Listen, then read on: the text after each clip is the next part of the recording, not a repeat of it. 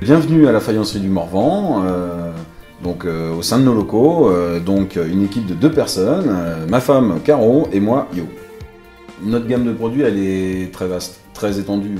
La définir complètement, ça me paraît pratiquement impossible. Depuis qu'on a commencé notre activité, on a dû développer les 250 thèmes de formes différentes. Le décoré reste de toute façon de la pièce unique, donc chaque année il change. Alors nous, no- notre gamme de produits, on s'est quand même très polarisé sur l'utilitaire. Parce qu'on trouve qu'il y a une carence en France. L'utilitaire en France, il est souvent ringard, pas coloré.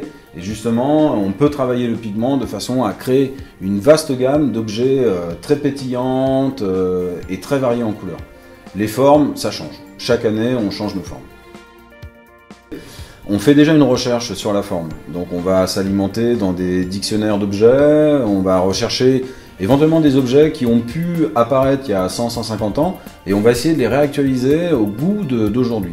Alors là, dans ces cas-là, on fait un croquis pour définir euh, la forme et ainsi réduire nos marges d'erreur euh, au niveau proportion.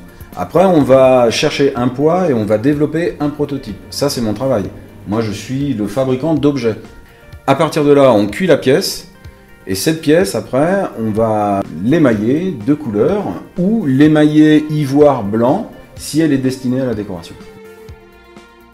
Je travaille aussi bien sur de la pièce euh, utilitaire euh, que sur de la pièce décorative, et ainsi que euh, tout ce qui va être habitat, à savoir le carrelage pour une salle de bain, une cuisine.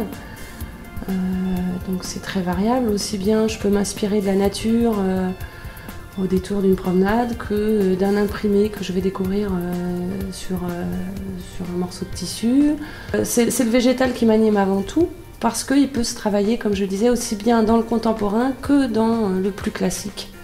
Soit euh, les gens peuvent venir me voir parce qu'ils ont une idée précise qu'ils veulent réaliser, ou bien, parfois ça arrive aussi, euh, des personnes ont envie d'avoir une pièce unique mais ne savent pas spécialement ce qu'ils veulent et dans ce cas-là on discute ensemble.